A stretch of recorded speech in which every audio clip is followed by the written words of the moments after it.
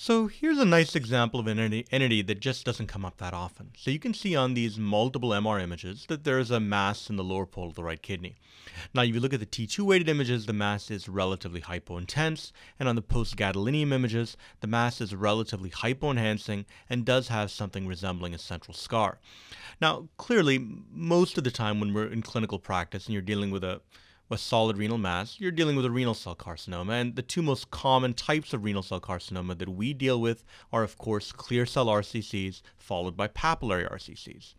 But there is a third subtype that is relatively rare, but is probably the type of tumor you'd like to have, and that's a chromophobe RCC.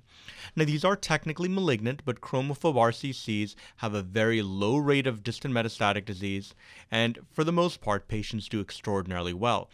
Now, it can be very difficult to make this diagnosis prospectively, but these tumors tend to be relatively hypoenhancing and oftentimes they look a lot like a papillary RCC, and they do have a special uh, predisposition for developing a central scar. So, in many cases, these are often confused with an oncocytoma. So, this is a great example of chromophobe RCC.